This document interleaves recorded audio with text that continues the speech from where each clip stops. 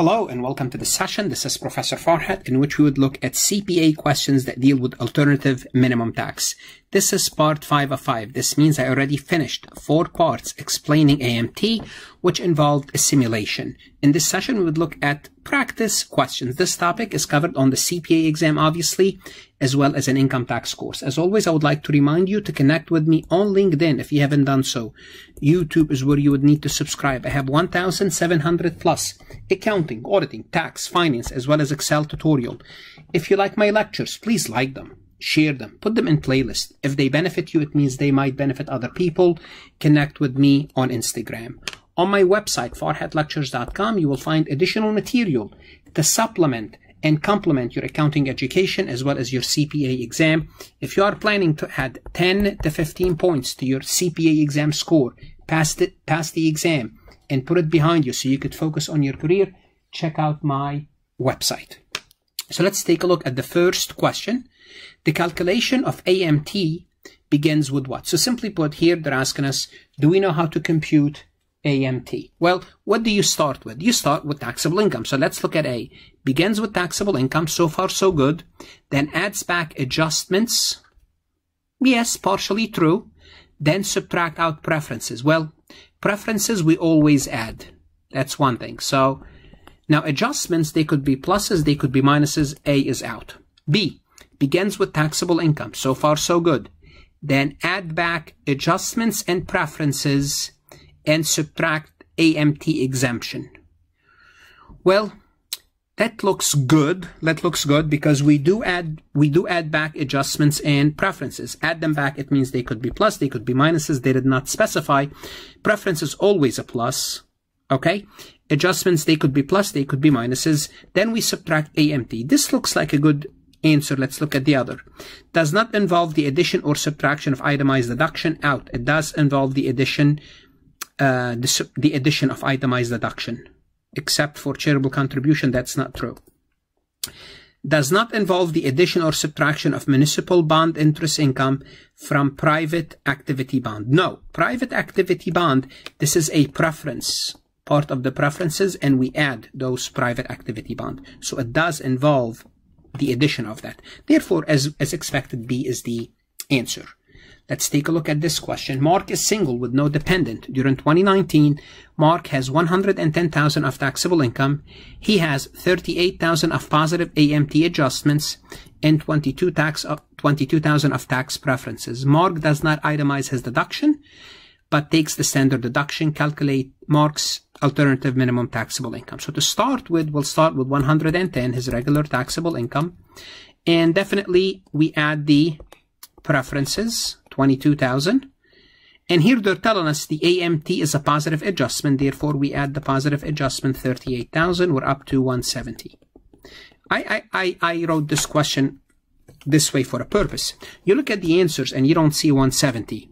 And you may go with none of the above. That's not true what happened here, you have to remember. But here, you don't, in a sense, you have to remember from my perspective to help you understand is you, you are missing the standard deduction. And the standard deduction is 12,200 for 2019. Now, rather than giving you the standard deduction, they may show you the tax form and you have to pull out the standard deduction. So simply put, don't forget to add back the standard deduction because he does not itemize. Therefore, you add back the standard deduction.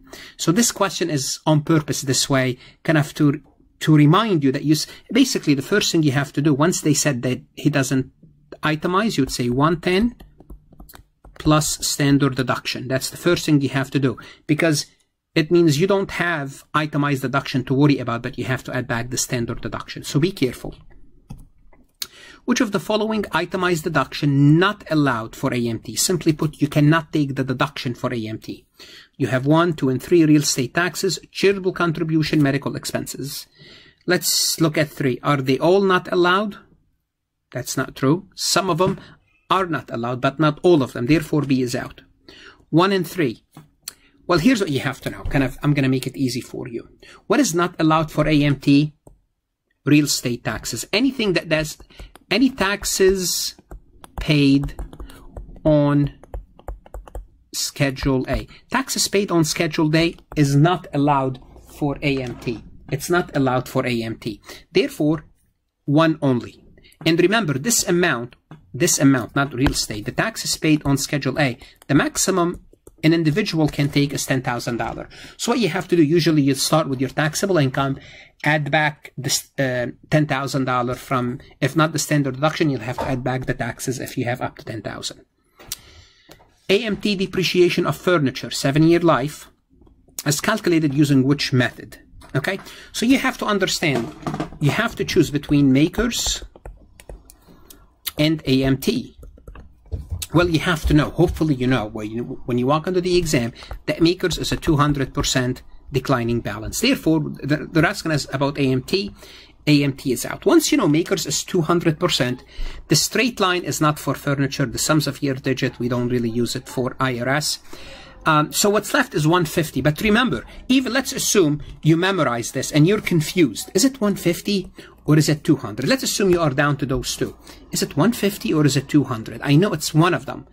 Well, think about it. AMT, it's going to give you less deduction, generally speaking. Not generally speaking. The purpose is less deduction. Okay. So which one will give you less deduction? 150. In total, they're the same. But if, if, if you, if, if I told you use the 150, it means it's going to give you less deduction at least early on.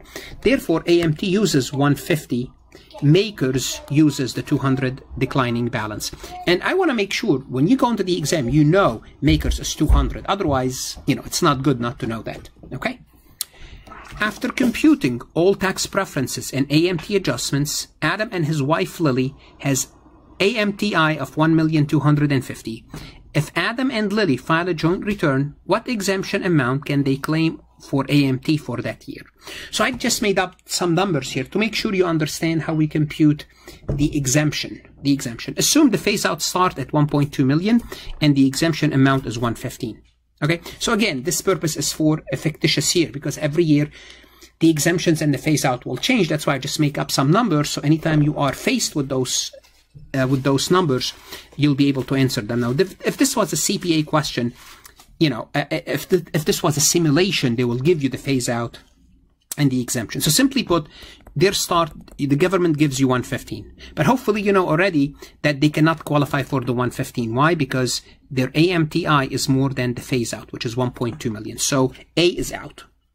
The second common error that students make is, oh, they would say, well, we are 50,000 above the phase out. Let's deduct 50,000 from 115 and we'll get 65,000 or maybe there's a mistake, 65,300. It's not, that's not how you do it. So how do you compute this, how do you compute the reduction in the phase out? I'm sorry, the reduction in the exemption.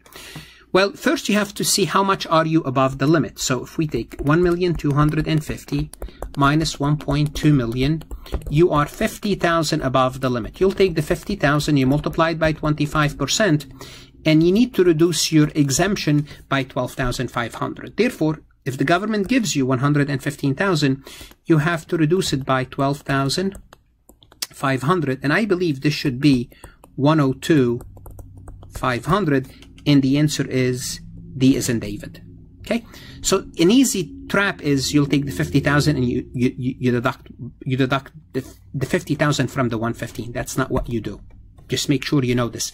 You find out how much you are over by the amount you are over. For every dollar you are over the phase out, you reduce your exemption by 25 cent. Again, if this is given to you, it will not be given in a multiple choice because they will need to give you the phase out and the exemption. Usually it will be given most likely in a simulation. As always, I'm going to remind you to like my recording, share it, put it in playlist. I'm always going to remind you also to visit my website, farhatlectures.com, if you want to learn more about an individual income tax, entity tax, which is corporate tax, international accounting, advanced accounting, governmental, audit, you want to supplement your education or you want to supplement for your CPA exam or your finance course, check out my website. Your CPA investment is 30 to 40 years. So it's a long-term investment. It's going to pay you dividend over a long period of time. Don't shortchange yourself. Invest in your career, invest in your education so you could move on, pass your exam, live the life that you like. Good luck, study hard, and stay